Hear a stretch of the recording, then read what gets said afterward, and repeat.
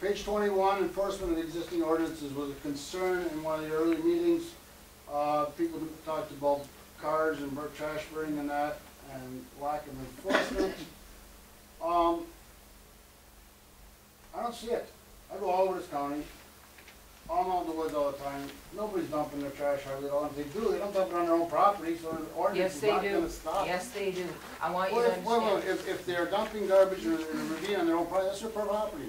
No, I, I understand that, but every time I, I ask you something or I wanna Okay. say something, you say, well, wait till you get to the next one. Okay. And I'm telling you, there's a lot I don't know. And I am not somebody that went to, went to eight years of college to know how to write that exactly like every one of you who want it, and that's why we have the meeting. But I can tell you that j- just recently, I went out on a twenty-eight or thirty-some acre piece of property, and they were dumping. It was okay, it's their land, they have every right to do it. But when they want to do something with that land, then they have to get rid of it. Most people don't wanna buy their junk, but there are places here that do that. Cash for If I could just interrupt, I'd like to uh, stay and uh, state just for the moment, um, our purpose here tonight is not for uh, planning commission members to necessarily answer everything that, that comes our way. Um, I know there's a a tendency for us to want to explain the reasoning behind it. What I think is more productive for us, though, is if we catalog the comments that we have here tonight.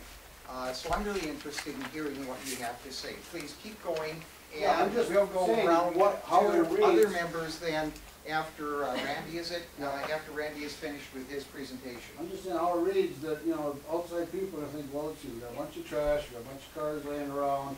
Speeding is, is, is not an ordinance. You know, and then who, we already have township constables who can't do anything because they got no teeth in the law. You know, it's just, Yeah. you're, you're asking for fixes that you can't do unless you're gonna throw a whole bunch of money at it. I spent twenty-two years in corrections, and I know about a whole bunch of money thrown at that problem. Yep. Uh, new owners are posting this land, no trespassing, former forested and waterfront areas, it's their land, they can do that. You make it sound like it's a bad thing, we're getting back into the, how it sounds. It sounds like this is a bad thing, the way this is written. And we realize that we are private property owners as opposed to entities and groups and all of that. But what you're getting here is the reading that Mr. and Mrs. John Doe will get out of this document. Um, because they are regular taxpayers and working people. And how it is seen by a business group is different from how it is seen by individuals who have to bust their butts to pay for their own property. Thank you. I think that's, I, I think that's uh, a very acute comment, and just underscores why we really are interested in hearing what this group has to say, as well as any people that may come to the next three sets of meetings. Again, Randy, please continue. I, I'm finished, that was my presentation.